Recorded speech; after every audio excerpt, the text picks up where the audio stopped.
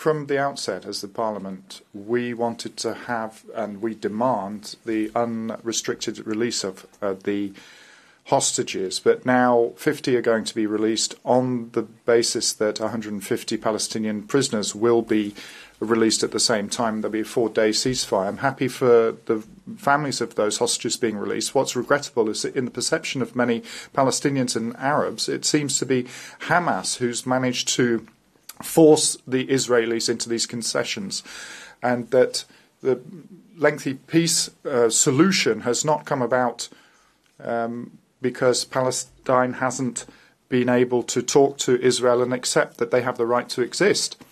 So we, as Europeans, should have coordinated our responses there with the US. So we had a robust mandate for Gaza where there be a strong international presence, first of all for humanitarian aid, but then for reconstruction in Gaza. That's something that then has to lead to a process, a peace process where there be elections that take place and negotiations for a peace, a lasting peace. I'm in favour of Gaza not being allowed to be repeated, and we don't see a further intifada in the West Bank because it has to come. We have to come to a genuine peace process. The floor is yours.